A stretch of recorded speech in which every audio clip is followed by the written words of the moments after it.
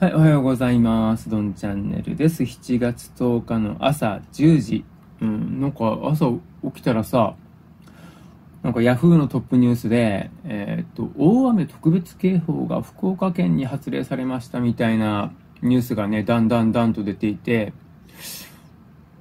なんか内容を見ると、えーっと、朝倉とか添田町とか、福岡県の県南の自治体の方に、まあ、注意報が出されてるみたいなんですね。まあ、僕が住んでる福岡市も昨日から雨、昨日ずっと一日中雨降ってましたもんね。で、まあ、家にずっといるのもあれだなと思って映画見に行ったんだけど、帰りに中川とかね、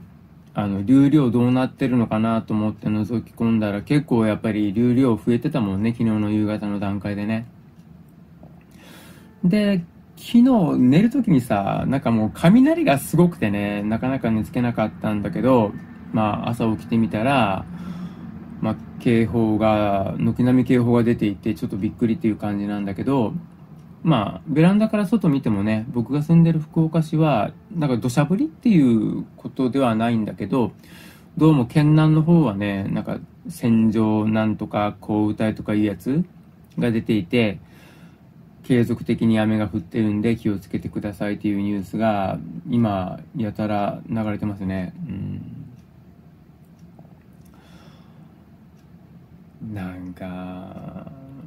まあ昔も結構大雨っていうのはあったけど、ね、2日も3日も雨が降り降り続くっていうのはあんまり記憶にないんだけど、うん、